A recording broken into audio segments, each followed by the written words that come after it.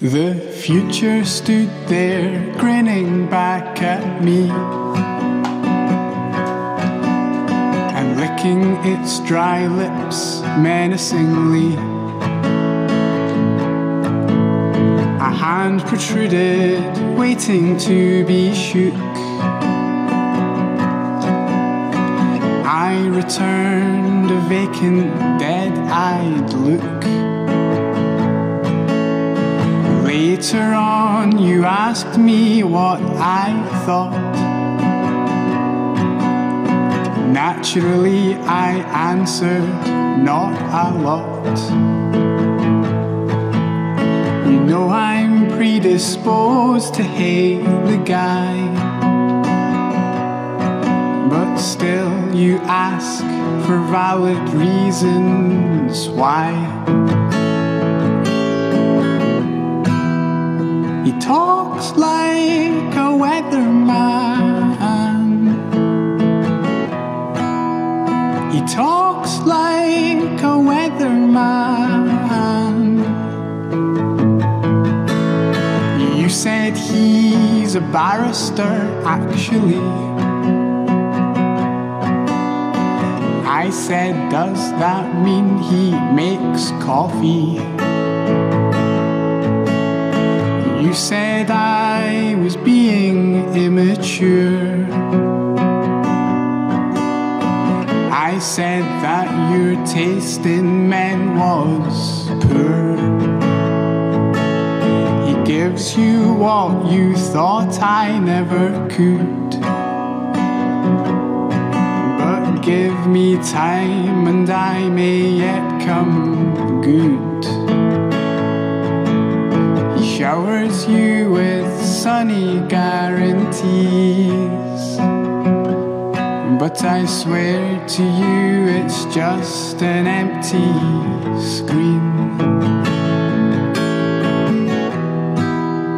He talks like a weatherman. He talks like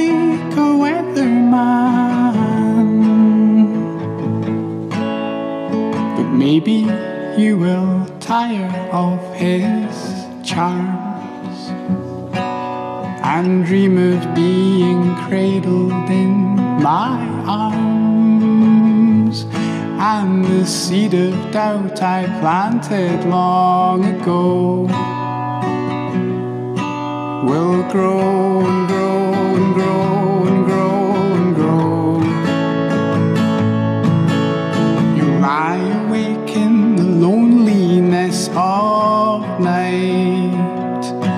and realize with horror I was right.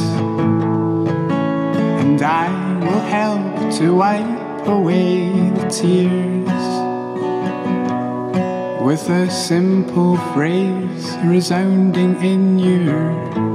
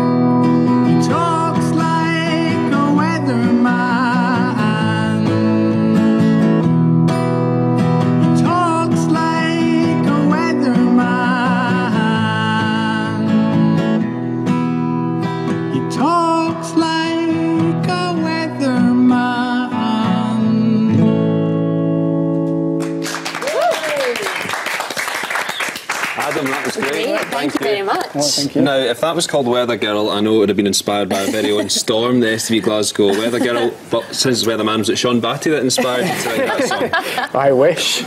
I wish I'd crossed his path. Sadly not. But listen, uh, you're here on your own. Um, the rest of the guys aren't here. But tell us a bit more about Randolph's Leap. Um, we're a kind of folky pop band.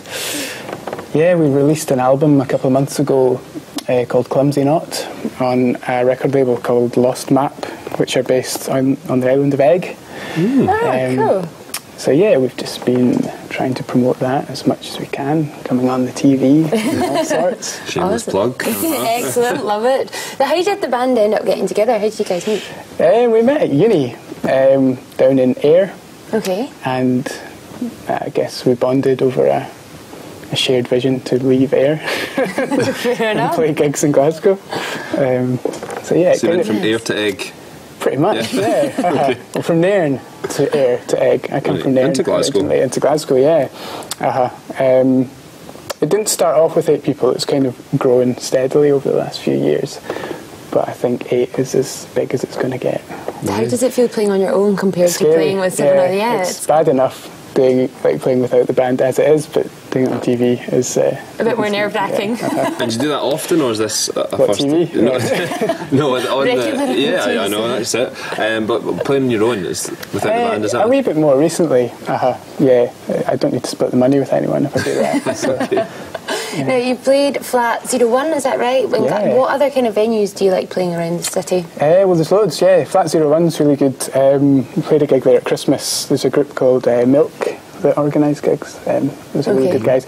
Uh, the Glad Cafe is Oh one yeah, of my Glad favourites. Cafe in yeah, the it's South Side. You've had Been them on the show, yeah, yeah. down- um, yeah, it's got a really nice kind of community ethos behind it, and it's yeah, they serve nice food and drink, and Mm-hmm. it's a really good space. It's about the right size, not too big, not too small.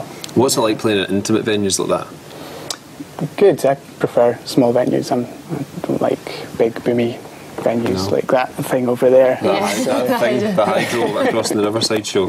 Yeah. One day, Well, perhaps something bigger. I doubt it. What What has your career highlight been so far?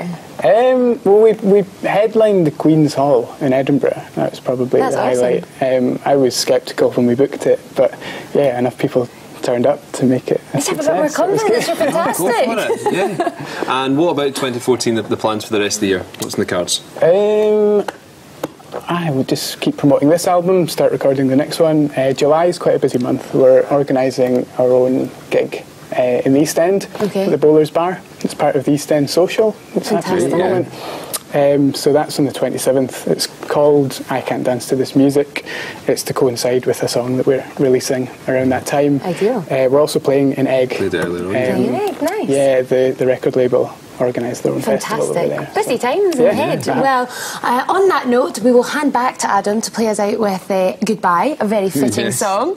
Um, but we will see you again tomorrow night from 6.30 right here on the Riverside Show. Adam, it's all yours.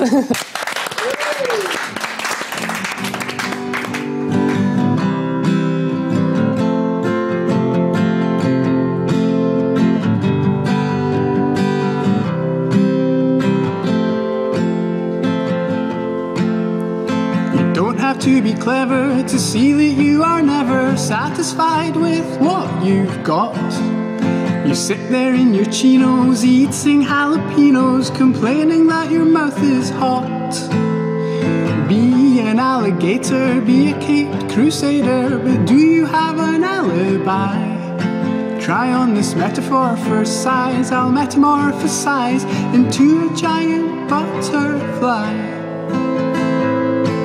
Well, I said goodbye, so long you're gone. I said goodbye, so long you're gone. Boy, you are a sinner. Finish up your dinner, go upstairs and say think it's time you dipped your toes into the scripture and hope the answers find you there. Well, you wanted to be famous, but Timmy, do you blame us for seeming like we didn't care?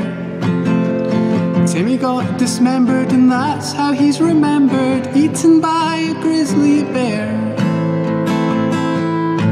Well, I said goodbye, so long